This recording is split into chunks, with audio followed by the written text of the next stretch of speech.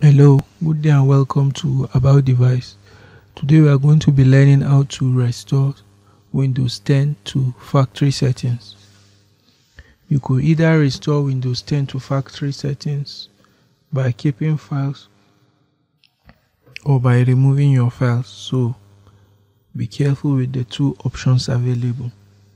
What are the reasons why you might want to reset your Windows 10?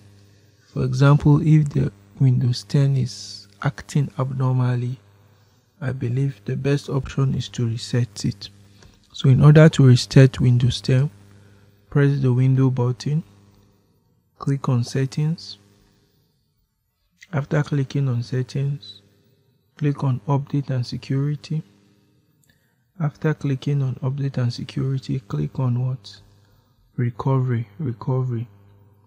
You could see this the reset your PC option. So if you want to reset your PC, click on get started. You could see that there are two options. You want to reset your PC by keeping files or you want to remove everything? So you select the best option that is to your own situation. Are you willing to lose your file? Then you select remove everything. But if you intend keeping all your files, then you, apps and settings will be removed. You could choose this option. Thanks for watching this tutorial on how to reset Windows 10 to factory settings.